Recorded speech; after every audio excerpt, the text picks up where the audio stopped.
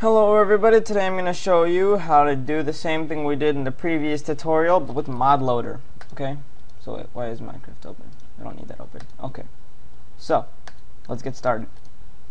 So we go to the computer, documents, Minecraft mods, tutorial 1, right? Right. Has all their stuff in it. First thing we want to do is clean up. Hit the clean up button, clean out.bat. Type yes, let it clean up. Done done cleaning up, right? Now, we need mod loader. So we're gonna go mod loader, Google it. Oh wait, shoot, my mic's gonna go away. Okay, there it is, okay. So mod loader, press enter. First one right here. And you scroll down, update O1.6 again, any mod not update slow works, and nobody, I know nobody will read this. And nobody did read that last time I checked. If you look at the last page, a whole bunch of people are wondering, hey, why isn't audio mod out for where is audio mod? Why isn't audio mod out for 1.6.6 and stuff? Anyway, so mod loader, download direct. If you notice all this other stuff, decompile fixes, MCP mapping, blah blah blah blah blah. Don't worry about it. Okay, you don't need any of that. So we're gonna open this with 7-zip, right?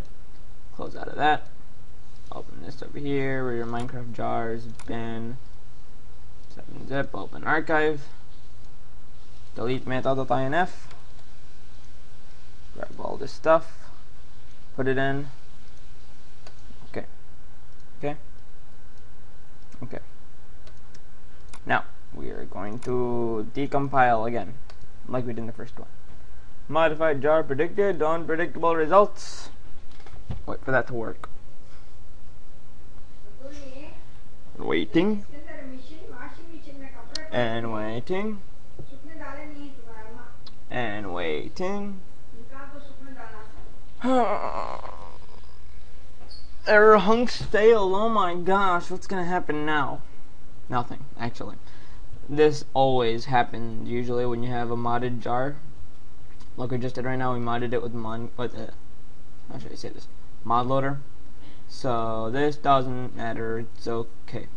Okay? It won't change anything. Mm, the compiling client in 5.57 seconds. Know, we should make a thread for this on the Minecraft forums. Just who has like the least number of seconds in decompile. So, open up Eclipse again. And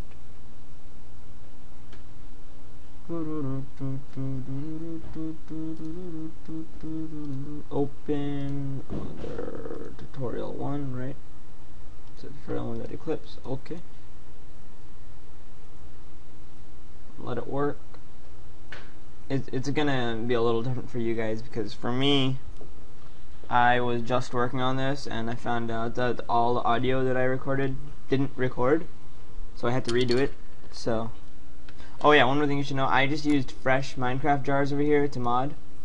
Right now, I used fresh Minecraft jars, and then I added mod loader on top, okay?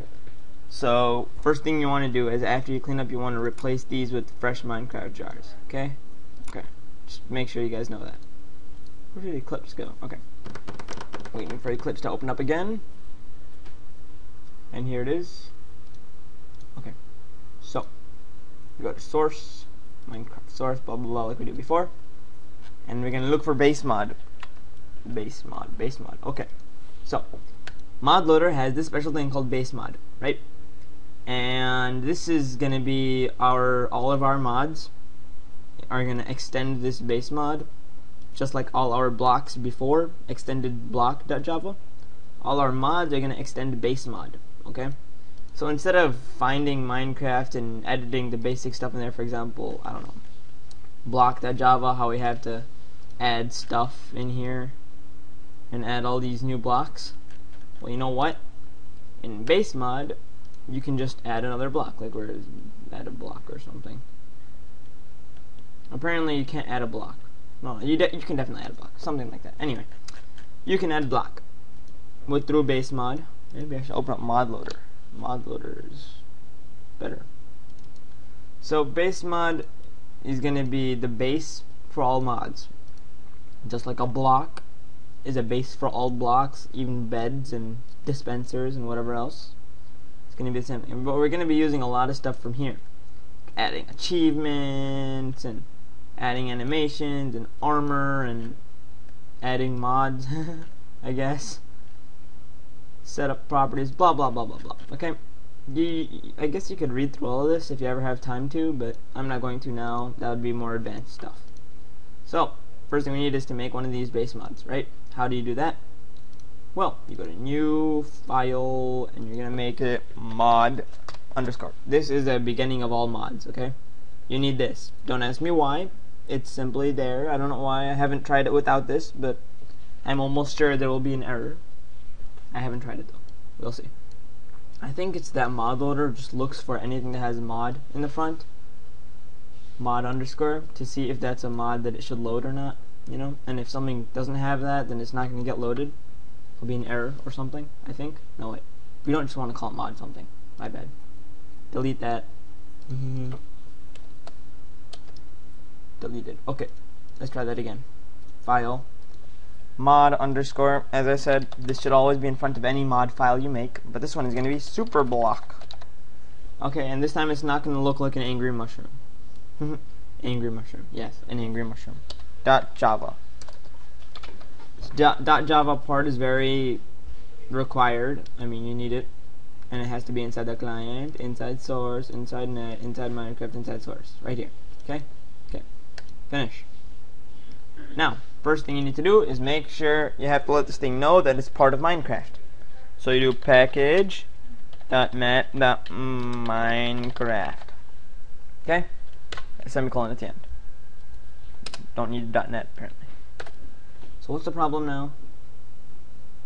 Oh, expected package is Minecraft dot source. Okay, my bad. We need to add that and then dot source. Happy? Happy. Okay. Now, we actually start our mod. So we have to do public mod underscore super block extend base mod. Okay? Capitals, capitals, capitals. I hate capitals so much. Anyway, there you go. Right? What's wrong with this public thing?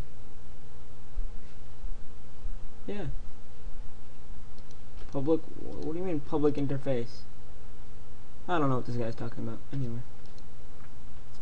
Public interface expected after this token. Oh, right. Public class. Whoops. Mod super block. Isn't that mod super block? So mod super block. Did I spell it wrong? No, no, no. What is, oh, right. Same thing. You always need the version. Must the the type super block must implement the inherited abstract method base mod dot version. Base mod dot version, right? So we need a version. So we need public string version, capital S. Make sure you spell it right. And make sure string also has a capital S. I won't tell you how many times this has annoyed me. I usually just copy and paste off some other random tutorial or something. You know. Copy and paste version and you need to return the version. So for this one, it's going to be tut1 tut1 colon super block plus mod loader 0.1 alpha. I always like putting 0.1 alpha just for fun. First initial release, right? I mean, we're not doing anything with it, so it's first just alpha.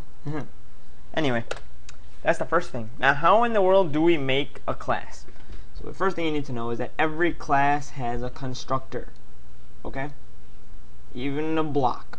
So if you look for model model base, public model base, you notice how it's the exact same thing as this? Well, is there the first thing it does all of it all it does at all is it makes the exact it makes sets this variable false, apparently, somewhere down here. Is writing is false now. That's all it does. But it's there, right? The moment this is done, it exists. This class now exists. Okay? So we need one of those. We need something that makes this class exist. So we're going to do public mod underscore super block. Right? I think. something like this. Okay, cool. It's it's working so far. so, right now we have nothing to put here, so I'm gonna put comment stuff, just nothing, just a placeholder text. I know to make sure this stays ours to use. Now, this is where this mod thingy comes very much in handy. If you go to our block, or is block.java? Block.java, where are blocks? All the way down, right? So you know how it says public static final blah blah blah blah blah? Well you know what? We gotta add our block now. So what are we gonna do? We're gonna do public static final block oh wait capitals, capitals, capitals. I hate capitals so much. Block, what are we gonna call it? Super block. Right? Not super box, super block. There you go. You know what's the problem with super block? It may not have been initialized. How do we initialize it? We put it in the static thing and we put all this garbage in here, right? So, let's put our super block. So is it super block? Oh wait, static, right? We need to put in static. Static super block is equal to now what did we have before well I don't remember exactly what we had before but I do know that we can't have the block ID to be 96 oh wait no let's just copy trapdoor and set stuff as we go right easiest way to do things is copy and paste and then modify. That's what I call it, CPM, you know, just like MCP, CPM. Copy, paste, modify. So, super block is equal new block super block, you know. So we can make our own, customize our own block, right? And no, no, no, no, we want the material. 96, it cannot be 96, it must be 97. That's our what's it called, right? Block ID. And then if I remember we had before here, we had 120 as our, um, oh, that was our image, right? And the terrain.png is the scary, the, the scary lit, um, pumpkin, right? I think. Yeah, yeah, that's definitely it. So, here we add something special. Here, we get to override that instead of using the basic terrain.png that we have, we can override that, okay? We can add this. modloader dot add override parentheses. Now, keep in mind this. First set of parentheses. Okay? Ends here. Second set of parentheses ends here. Third set of parentheses start and end here. Okay? You should have three sets of parentheses at the end right here. Okay? So three parentheses. That's what we need. Don't go deleting one by accident now. That would be a big cause of problems. So the syntax for an adding an override is first telling you which file you want to override right now we're making a block and all the block textures are held in slash terrain.png. Watch, I'm to misspell this somehow. Terrain.png, right? And this one is where we're going to put the picture instead. Instead of going to terrain.png, it's going to be somewhere else.